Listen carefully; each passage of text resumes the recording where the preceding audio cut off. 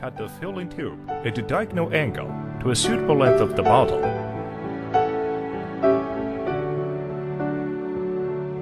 Push the filling tube onto the inlet valve as far as possible. The diagonal end should be at the base of this bottle. Screw the dispenser directly onto a GL45 screw thread bottle. For other bottles, use the accompanying adapters. Place an appropriate collective vessel under the discharge spout. Hook the discharge spout and carefully remove the closure cap.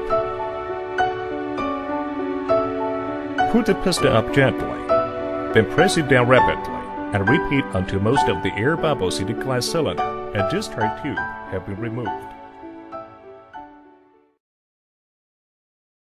Volume adjustment knob counterclockwise. Move it to the appropriate volume and turn clockwise to lock.